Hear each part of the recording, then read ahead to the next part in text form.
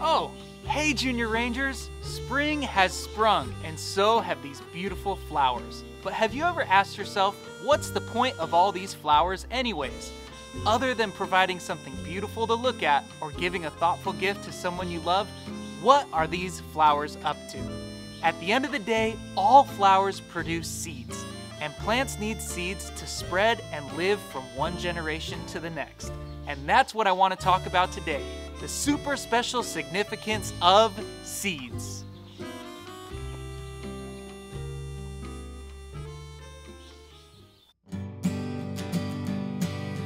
You ever want to know what makes a tree grow turtle wears a shell on its back. Your hiking boots and a walking stick. Come along with Ranger Zak. Come along with Ranger Zak. It's the Ranger Zak Show. A seed is basically just a baby plant. Oh, how cute! It needs the right water, temperature, and light to sprout. Typically, these conditions are found in good quality soil. When the right seed finds the right home, it will grow a root and a stem. This process is called germination. A seed is made up of three parts. The seed coat, which is the outer layer that protects the seed from drying out. The seed embryo, a fancy name for the future plant the seed will become. And the endosperm, which contains all the nutrients the seed needs to grow big and strong. Let's look at all three parts using this avocado seed.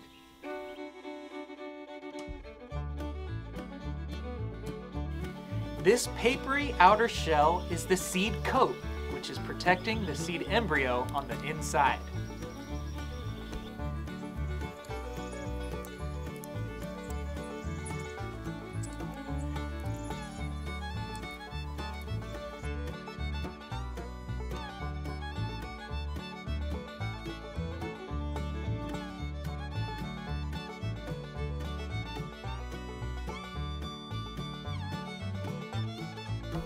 Here is the seed embryo, the future plant the seed will become. And it's getting all the nutrients it needs from this surrounding endosperm. The best part about examining avocado seeds is making the guacamole after. Avocado seed, you guac my world!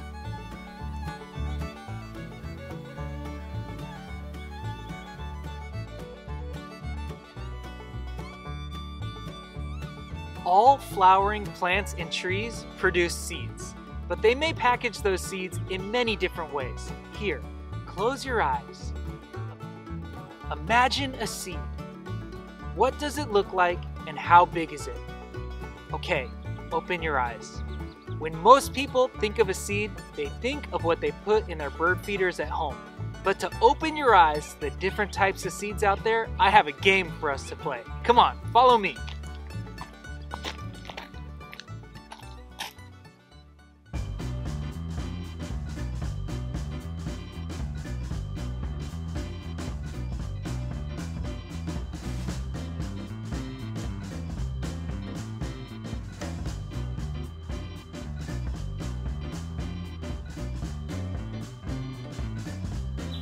Welcome back to the game show Seed or No Seed. The rules are simple. I hold up an everyday object and you tell me if there's a seed or no seed. Let's start easy with one everyone should remember. This avocado, what do you think? Seed or no seed? That's right, seed. Give yourself mm, 14 points. Let's move on to these almonds. What do you think? Seed or no seed? If you said seed, you're right. Almonds are seeds. Give yourselves 68 points. Getting a little trickier, how about these dried beans? What do you think? Seed or no seed? Raise your hand if you think no seed. Sorry, folks. Beans are seeds, so if you guess seed, give yourself four points. How about this onion? Could this skin be a seed coat? What do you think? No seed. Onions are roots. Let's move on to this rice. What do you think? Is rice seed or no seed?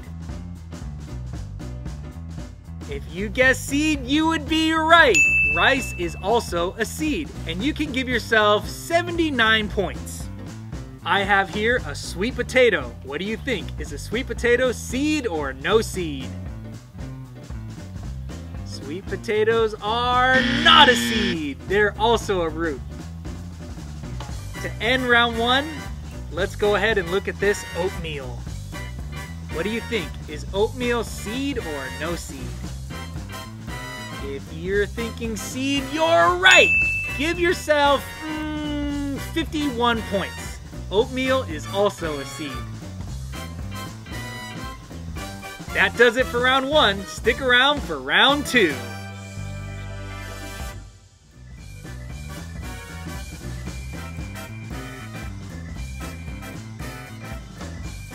Okay, everybody, welcome to round two. You know the rules, so let's get started. This ear of corn, what do you think? Seed or no seed? If you think no seed, you would be wrong. Corn is a seed. It's actually a giant grass. So if you guess seed, give yourself mm, 12 points. How about a carrot? Look, something's growing out of it. What do you think? Seed or no seed? No seed! Carrots are also a root. Okay, I have here some beets. What do you think? Beets, seed or no seed? If you guessed no seed, you're right. Give yourself mm, 83 points. I love beets. Gotta cook them first, though. doesn't. Okay, everybody, we're down to our last two. This one's really tricky, so make sure you think about it before you give your answer. Peanut butter. Seed or no seed? Well, peanut butter is made from peanuts, which are seeds. So if you guess seed, you're right, and give yourself 28 points. Okay, Junior Rangers, last one. This pickle, what do you think? Seed or no seed? Well, pickles are made from cucumbers, which have seeds on the inside. But you can't plant a pickle, so don't plan on growing any pickle trees anytime soon. And that does it for Seed or No Seed. Thanks for playing. We'll see you next time.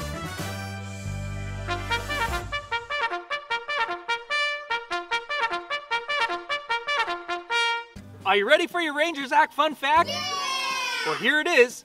Strawberries have seeds, but you ain't gonna find them on the inside.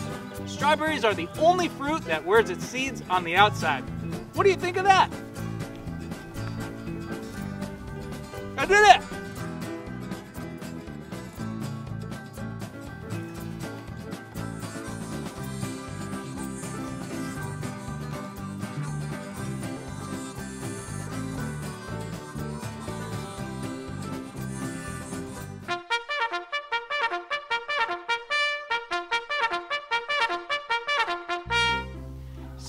We learned that seeds have three parts. The seed coat, the seed embryo, and the endosperm. We also talked about how seeds can take many different shapes and sizes. Next, let's learn how seeds can move from one place to the next.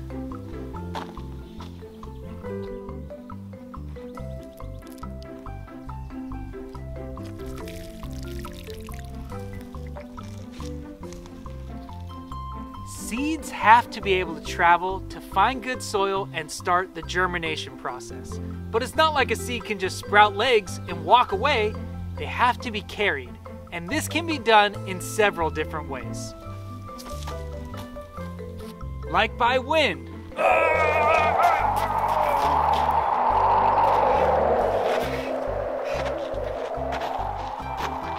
Have you ever blown away a dandelion and made a wish? Well, did you know that you were actually making the plant's wish come true too? Seeds like the ones on the dandelion have hair like parachutes on them that can catch the wind and be blown for miles around.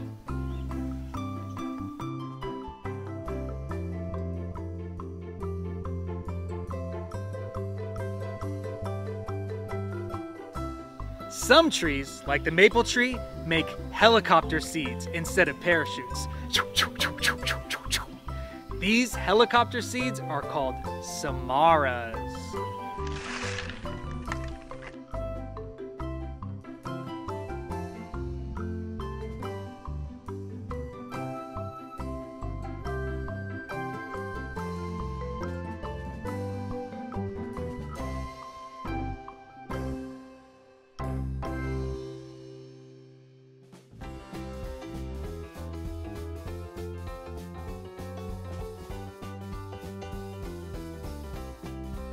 Some plants rely on animals to help spread their seed.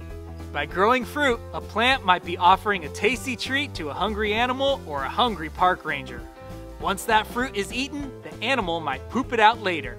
Like remember that scat from our tracking episode? Well, that scat is great fertilizer and an excellent place for the seed to germinate in. Some plants may even be using you to help spread its seeds.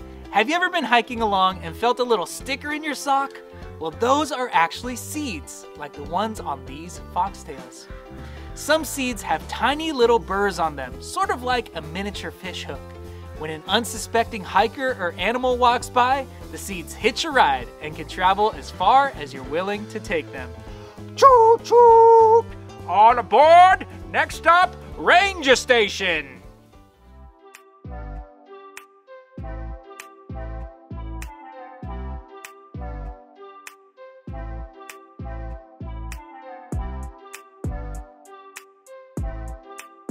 Howdy Junior Rangers, welcome back to the Ranger Station. Now I'm gonna show you two really surprising ways that you can use seeds at home.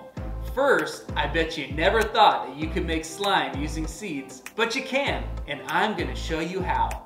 For this experiment, you'll need about two tablespoons of chia seeds, some water colored with food coloring, about a tablespoon and a half of cornstarch, and a mixing bowl. Let's get started. To begin, I'm gonna take my two tablespoons of chia seeds and put them into my mixing bowl. Into the bowl they go. Next, you have to decide what color slime you wanna make. I'm gonna use my favorite color, green. Add just enough water to cover all the chia seeds.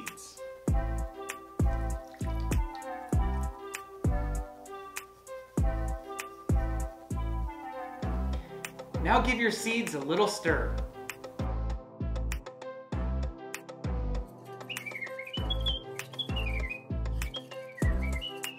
Let's add our cornstarch. Start with about a tablespoon.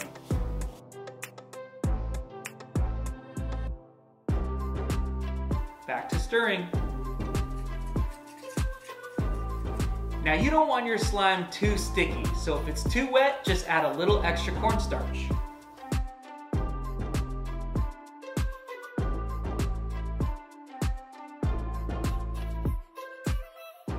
Junior Rangers, I think our slime is ready. Let's have a look.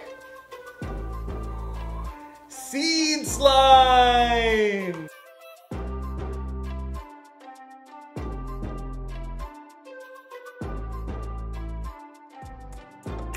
Slime, slime, slime!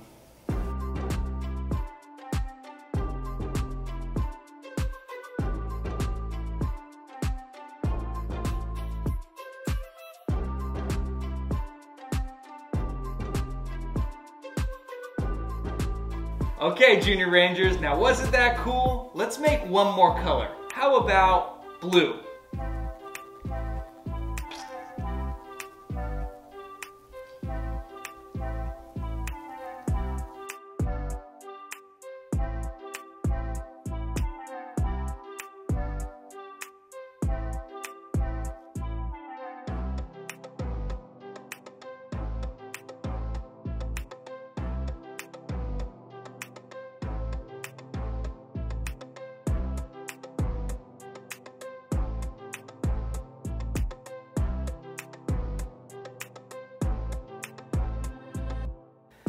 Bet you never thought you could make slime out of chia seeds. Cha-cha-cha-chia!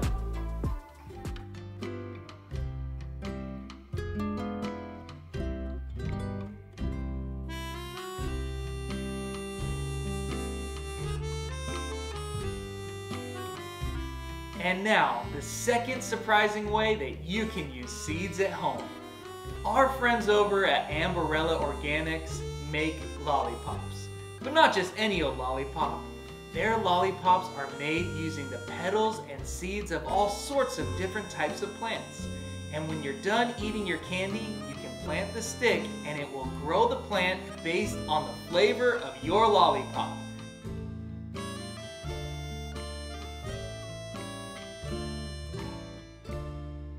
Today I'm going to be sampling and planting strawberry basil.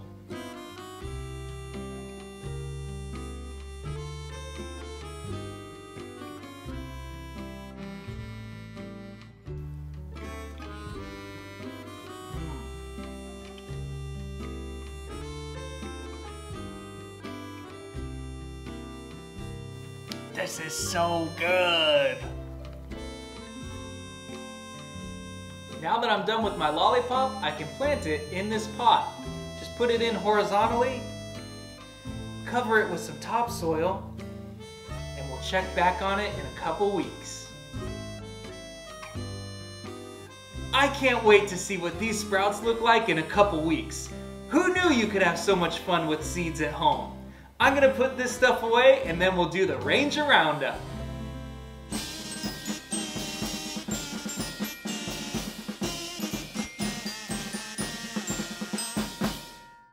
This week's question comes from John, who's been a fan of the show since our very first episode.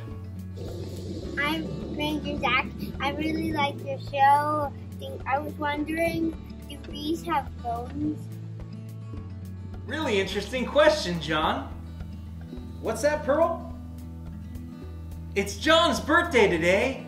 Well, happy birthday, John. I hope you get outside today for a great adventure. Here's the answer to your question. Bees have skeletons, but no bones. That's because they wear their skeletons on the outside of their body. This is called an exoskeleton. The exoskeleton is sort of like a suit of armor. It protects the bees and keeps everything that should be on the inside of the body in place. I hope that answers your question and I want to wish you another happy birthday. Now let's do the Junior Ranger Challenge.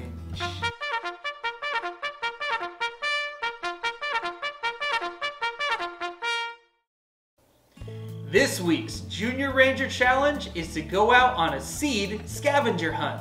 See how many seeds you can find at home, outside, or even in the supermarket. Seeds are everywhere, silly, so it's not that hard. For extra points, plant your seeds and see how long they take to sprout. Tag us in a picture of your special adventure at the Rangers Zak Show on Instagram for a chance to be featured as one of our Junior Rangers of the Week. Remember, new episodes of the Rangers Zak Show come out every Monday, so please make sure to like and subscribe to our channel so you don't miss any of our great adventures. And remember, Junior Rangers, there's a world of adventure right outside your door, so get out there and go explore. This is Ranger Zak and Pearl. Over and out. What? What? Oh. Well, it's almost bedtime, so just make sure you brush your squirrel teeth after you eat this.